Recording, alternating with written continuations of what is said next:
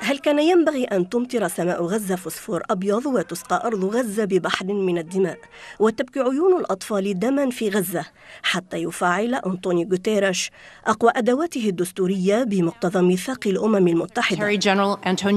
اعتمد الأمين العام للأمم المتحدة في ذلك ولأول مرة منذ عقود على المادة التاسعة والتسعين من الميثاق والتي تسمح له بلفت انتباه مجلس الأمن إلى أي مسألة يرى أنها قد تهدد حماية السلام والأمن الدوليين. سلطات الاحتلال الإسرائيلي التي لم تنصع يوما للقرارات الأممية الضامنة للحق الفلسطيني تواجه اليوم تحذيرا ولفت نظر من غوتيريش من أن العدوان الإسرائيلي على قطاع غزة قد يؤدي إلى تهديد السلم والأمن الدوليين. في خطوة دعمها أيضا مدير منظمة الصحة العالمية تدروس جيبرسوس الذي أكد أننا بحاجة للسلام من أجل الصحة في غزة.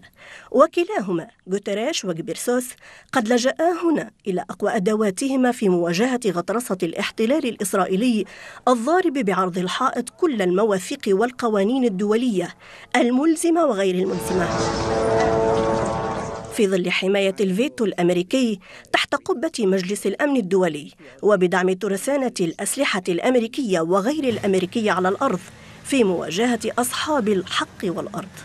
خطوة دستورية متأخرة في مواجهة عدوان عسكري ولفت انتباه في مواجهة آلة الحرب والعدوان على غزة مستمر مع إعلان سلطات الاحتلال الإسرائيلي مرورها إلى المرحلة الثالثة من عملياتها العسكرية في غزة.